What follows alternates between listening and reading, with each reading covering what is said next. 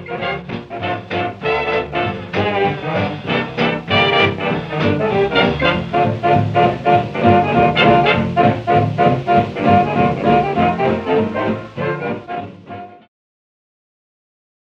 everyone. Uh, my name is Steve Gaynor, and I am the Community Coordinator for Social Biz at UG.org. And I have the distinct pleasure today of having Mr. Jim Claussen with us uh, for my Social Biz UG.org Member of the Month. Jim, how are you doing? I'm doing great, Steve. Thanks for uh, having me. It's great to be with you. And I'm, I'm really glad to have you with us. Um, and uh, we were chatting before this. Uh, I believe you said uh, you're in Silicon Valley. Yeah, yeah. I'm out here uh, on the West Coast in California in the uh, Silicon Valley area. I'm very envious of that. it snowed this morning. I heard that. Yeah, I was just talking with someone about that. So uh, yeah, it's uh, well, I don't want to tell you about how the weather is today. all right. Um, all right. So, Jim, um, uh, if you can, can you tell me uh, who do you work for and what do you do? So, uh, so I work with IBM. I'm in the social business category, and I work with uh, around IBM's collaboration solutions and technologies. And what I do is, uh, while my focus is really around digital engagement coaching, and so helping um, you know people and organizations grow into social businesses and become social businesses, and helping them really first with you know the why, you know why is this important, and kind of the uh, guiding you know principles, how to think about this, the mindset, and then you know of course like you've probably seen on you know like the ask jim podcast and things like that then to get down into you know kind of the mechanics on how to do things. But um, yeah so that that's uh, my focus. I uh, i really agree the uh, with your the the why part. yeah. Uh, i often find um, with upper management um, uh, they will often forget to ask why. Why do you want to do what you're doing right Yeah. yeah what's the value what's the really what's the end goal so Right. Uh, so, um, what got you started in connections? So what got me started was I was in a management role. I had a, a team of about 10 direct reports, and then I was managing, basically responsible for 600 people around the world on trying to get everybody on the same page. So uh, that time it was industry solutions. So it was around, you know, getting everyone aligned on planning, strategy, uh, and just operations uh, you know, everyone is using their own systems in their own country on their own hard drives and so forth. And um, going into this role, I quickly discovered that uh, there aren't enough airplanes you can get on, there aren't enough phone calls you can do, right, to align so many people. And so uh, at that time, we were just rolling out IBM connections in IBM internally, and so uh, at that point I didn't know much about it, and so I started using it, and literally within 15 minutes I had my first aha moment, and thought, you know, this is the path forward, and uh, I went from honestly feelings of complete uh, anxiety to you know feelings of, of really excitement because I thought like yeah we can really align 600 people using connections. And so from then on, I became, you know, a really uh, passionate advocate and, you know, was so successful in that role, helping people that um, I felt like uh, I really want to focus my attention on helping other organizations and teams and people. You know, people kept coming to me for questions, you know, gee, Jim, how are you doing that with that group and so forth. So that, that was kind of the beginning of my journey. And since then, of course, I've you know shifted to focus purely on collaboration solutions and helping and coaching uh, and trying to teach others so I can certainly understand uh, your excitement on it. A, a couple of years ago, I went to a, uh, a one day seminar with uh, Chris Crummey. uh-huh And that I, I left that just going, oh, give me connections, give me, give me. Give me. You yeah, know, he gets you excited doesn't he All right, so Yeah, um, Chris is great. Uh, let me ask then, um, um, what do you see uh, uh, as the biggest challenges that you see with organizations in using connections? You know, Steve, I think the hardest thing is, uh, you know, it's not using, you know, the mechanics, you know, of the platform. Um, it's really adoption. And in teams, uh, for many organizations, you know, it's new. Working social, uh, out loud, transparent, um, you know, in this kind of open collaborative environment is new for a lot of people. And I think the hardest thing is making that shift from working alone on your hard drive, on your computer, living in your inbox, to working, you know, uh, you know, shifting to more of this co-creation, you know, open collaboration, uh, kinds of approaches where everything's not locally on your hard drive, you know, in your in a connections environment. And you know that can be a you know that shift can be a challenge for people, and I think that adoption journey, uh, you know, I think is the biggest challenge I see. So that that's kind of where I try and you know focus my attention and helping people make that journey. And uh, you know, the reality is, uh, at least what I find is it doesn't happen overnight, right? And that you know it's a journey, and that's made up of many small steps. You know, I that's it, I find that very interesting that you say that. Um, uh, I guess because of what I do, I'm used to working with files and such remotely. But that's right. very interesting. I, I mean, I can see that a lot of people would have trouble with that. Yeah, yeah. You know, it's I don't know. Yeah, well, you and I might think like, well, sure. How else would you do it now? Right. Um, but uh, you know, for people who aren't used to that, maybe at the beginning of the journey, that can be overwhelming or foreign. Huh. You, know, it just depends on the person. But uh, yeah. You know, but I think that adoption and getting whole organizations, you know, so working in in a collaboration environment like Connections um, is not is a team effort. You know, the more people participate and collaborate, the more value everyone gets. It's not a solo activity, right? So with any organization, uh, especially the bigger the organization, um, it's important that everyone, you know, participates and collaborates, and that way everyone can benefit. Um, you know, and the other uh, real challenge I see uh, is, you know, with management and senior leadership.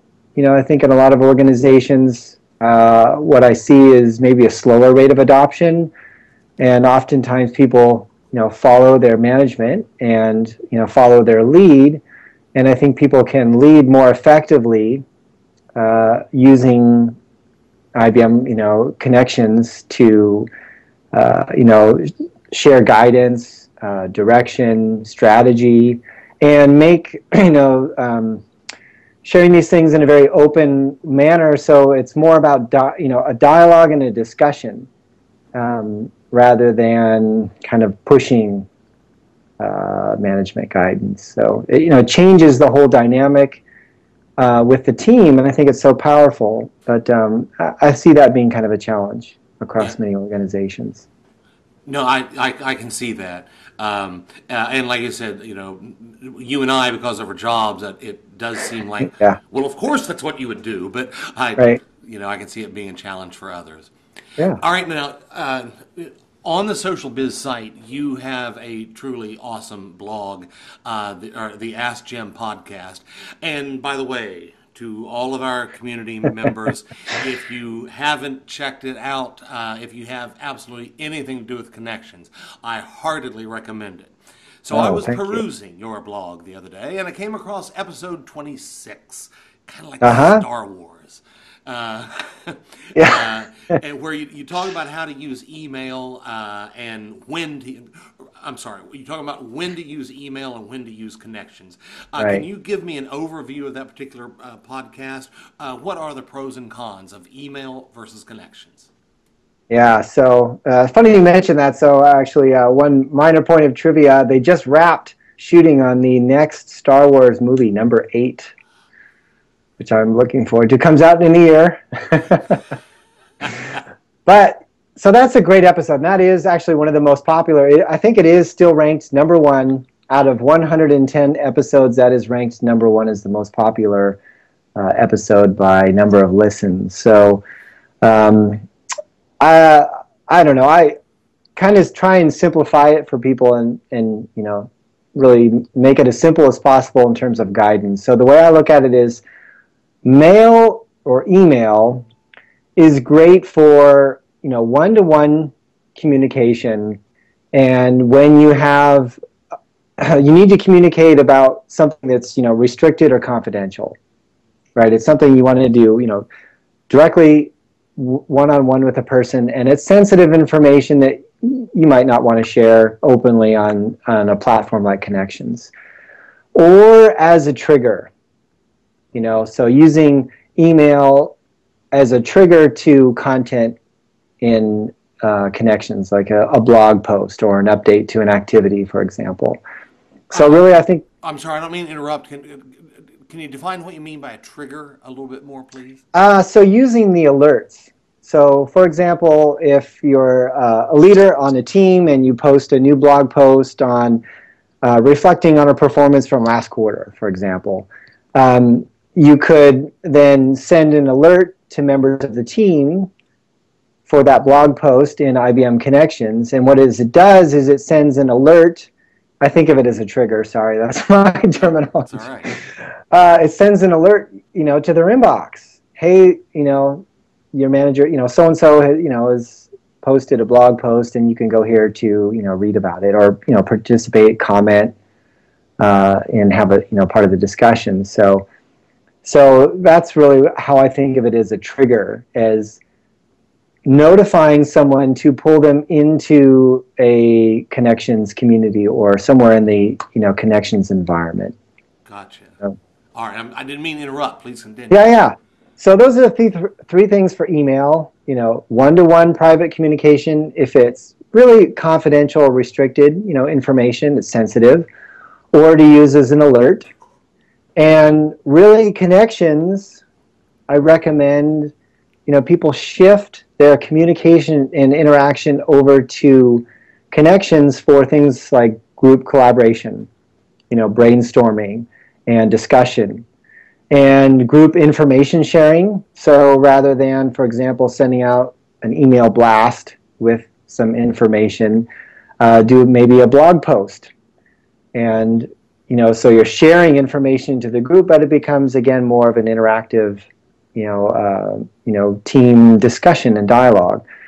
And you know what I talked about earlier, things like uh, leadership guidance, I think is very powerful for people in organizations, enterprises to small businesses, um, to be able to share key information with their, you know, their workforce, or you know, it could be if it's an external connections environment with their partners, their vendors, their suppliers. Um, you know, that's such a great environment to share information, but because it's in a, a place where people can collaborate and interact, it becomes a two-way communication. So you can get feedback um, and you know iterate those ideas and concepts forward. So really, that's you know kind of how I break it down uh, between email and connections. Um, you know, hopefully that helps people. Uh, and, and again, for all our members out there, um, uh, I, I, do recommend uh, the uh, Ask Jim podcast, uh, and you can uh, hear this kind of stuff in depth and get all sorts of tips and tricks, which is really awesome. Yeah. All right, Jim, we're running out of time, so we are at the moment where I have the most important question of the interview. Now, if people have listened to these before, you know that's usually what's your favorite movie. But I've decided to change this one up just a little bit. Um, have you read any good books lately? uh, can you recommend a, a book either um, uh, related to business or just for fun that you uh, yeah. uh, may have read lately? Yeah, yeah. So um, no, it's it's a great great topic. So I don't know what are they. I, I think there's three great books that I've read recently, and one uh, I'd highly recommend to people is a book called Essentialism from a gentleman called Greg, um, named Greg McKeown. And it's basically focusing on, you know, what matters. You can think of it as, you know, productivity, but it's really about rethinking what your prioritizations and focus in life. And I found it just immensely helpful. Um, and the other great book, much related to what we've talked about today, is a book called Super Connect by uh, Greg Lockwood and Richard Koch. And it's really talking about the dynamics of networks. I think um, I think it would really help people, you know, expand their thinking uh, around the importance of networks in an environment like, you know, connections, and the importance of those weak links. So your secondary and tertiary networks. Uh, that's a great a great book. Um, and the other one I think really relates to what we've been talking about in collaborating and working open in a, an environment like Connections is a book called Give and Take by Adam Grant. And basically the importance of, you know, the mindset of helping and serving and giving away knowledge uh, to help others. So those are three three books I'd really recommend, you know, people take a look at. They all sound like really excellent books. yeah, yeah, they're good. They're good. Um, all right. Uh, as I said, I think we're out of time. Uh, Jim, I do so appreciate you taking the time to speak with me today. Uh, and everyone out there in social biz land, please be sure and check out the Ask Jim podcast on the site. And I will talk to everyone soon. Goodbye. All right. Thanks a lot, Steve. Take care.